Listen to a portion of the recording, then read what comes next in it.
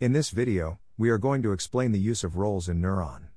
Since N3uron's 121 version, the management of roles and users has been improved to make configuration much easier for users. You can now easily create a user and assign them to different roles, according to the permissions they will be granted.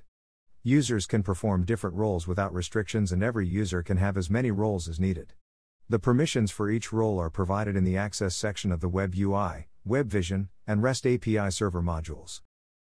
It's important to have a good idea of the different roles in your project, and how they affect the security of your project. For instance, what level of access a particular module needs may determine the functional type roles that you create, and the different users assigned to each role. Due to the fact that version 121 includes a considerable modification when it comes to managing users and roles, upgrading from a previous version will automatically overwrite all users previously configured for the Web UI and Web Vision. This means that you will be required to recreate them. The first step when configuring a role is to go to the config section in System and choose roles.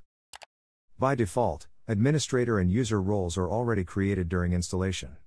Next, click the button on the left hand side of Model to create a new role. Once created, you can add a description for the new role. In this example, I'm going to enable full permissions.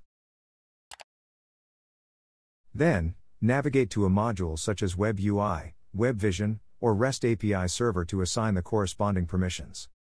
For this example, we've chosen Web UI to display the configuration. Click on Access within Web UI in the Modules section.